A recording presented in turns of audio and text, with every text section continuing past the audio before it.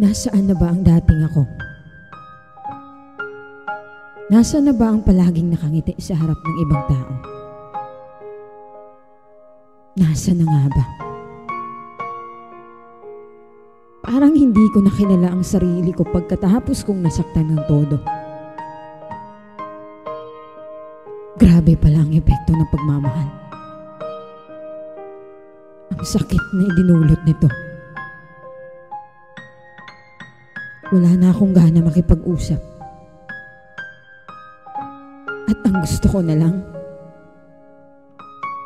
ay mapag-isa.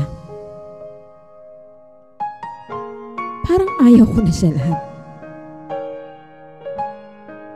Siguro, napagod akong umintindi. Napagod na akong masaktan ng paulit-ulit. Ganito ba talaga kapag ubus na ubus ka na?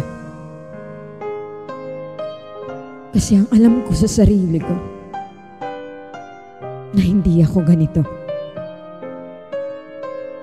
Dati akong mapagmahal na tao. Mahilig magkwento.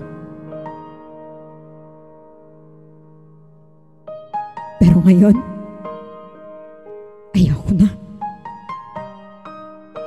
Tanggap ko naman lahat ang laki ng pinagbago ko. Pero sana, maibalik ko ang dating ako. Sana dumating yung araw na kapag humarap ako sa salamin,